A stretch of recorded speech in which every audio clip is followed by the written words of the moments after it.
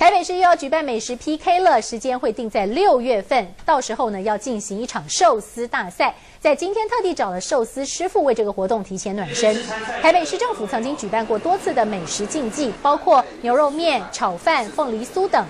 晶莹剔透的台湾米在厨师巧手之下搭配着新鲜生鱼片今天许多人在试吃的时候直呼好过瘾。